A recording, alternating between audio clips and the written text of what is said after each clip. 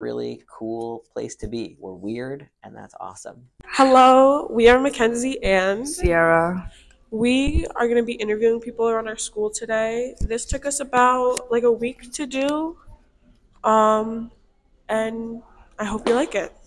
Today we are here with I am Sean Mitchell. I am the Dean of Students here at the Greater Hartford Academy of the Arts Full Day Program. What do you wish you knew before coming here? Uh, great question. I think I just got to um, be funny on this one, and I wish, I wish I knew how long my commute was coming here every day. Um, but I will also say this is a very unique school, um, and even though it takes me an hour to get here every day, um, I do that because there's no other school like this in the state of Connecticut, and so I come from Bridgeport every morning and every afternoon um, because that's how special the school is, and um, I think students who come here they take it for granted sometimes. It's just a school, right?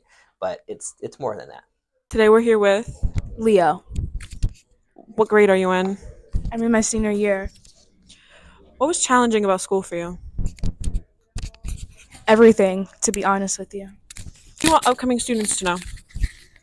Do your work, honestly. Like, I was in that phase where I didn't do my work, What do you wish you knew before coming to school?